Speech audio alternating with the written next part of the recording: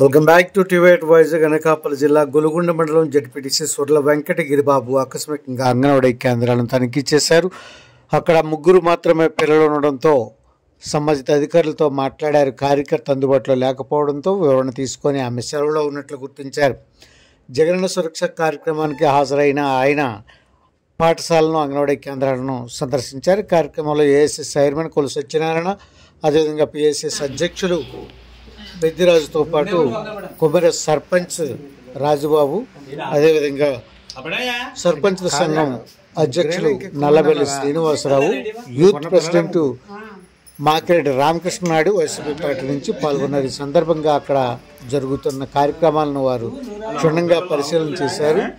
నిర్మాణంలో ఉన్న అంగన్వాడీ కేంద్రాన్ని పరిశీలన చేసి తగు నిధులు కేటాయించేందుకు ప్రయత్నం చేస్తామని జడ్పీటీసీ సుర్ల వెంకటగిరిబాబు తెలియజేశారు. థ్యాంక్ యూ టివేట్ వైజ్ మీ ఎంఏ రాజు